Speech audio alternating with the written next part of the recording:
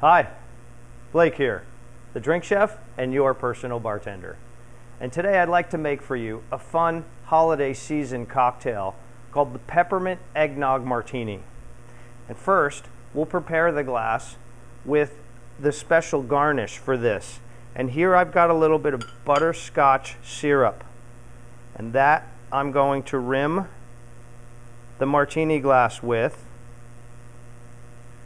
And that will help my colored sprinkles stick to the top of this. Okay, you see that? Very good. And now I'll take some colored cake decorating gel and I'll just do a really simple swirl. Okay? And then we'll do a little bit of blue. Very easy there. Okay. That out here like that. And now we'll build my cocktail into a 16 ounce mixing glass. And I'm going to pour one ounce of brandy.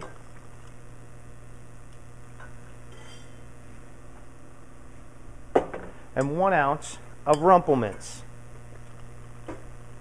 peppermint schnapps. We'll pour two ounces of eggnog.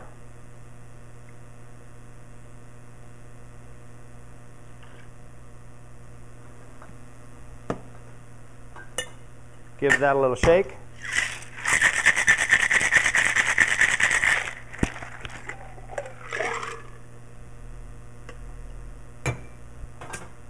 And we're ready to serve.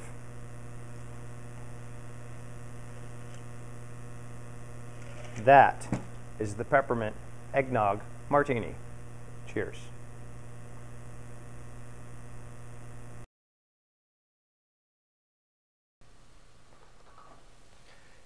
Hey, if you like what you see, please buy my book.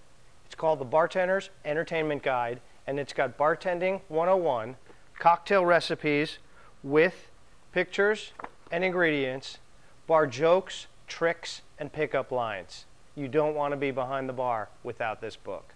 You'll find a link below. Cheers.